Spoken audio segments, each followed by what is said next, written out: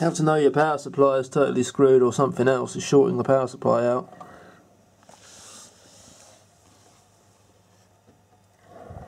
Light goes green briefly and it just cuts out. It was just not booting to the Windows logo, so it could be anything, but it's not the GPU, or at least it's not the main powers of GPU. It still does it.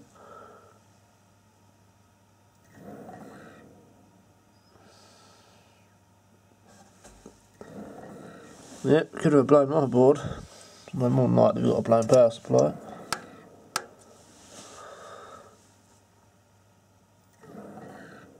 Nothing smells burnt or anything. Not yet anyway.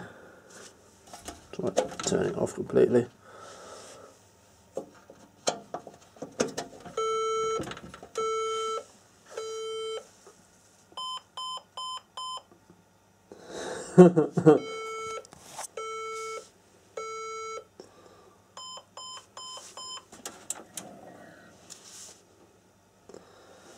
That's it folks, I think she's dead.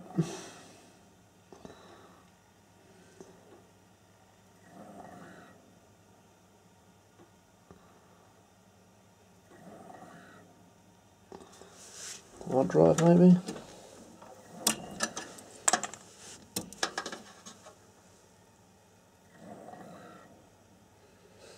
It's dead Jim.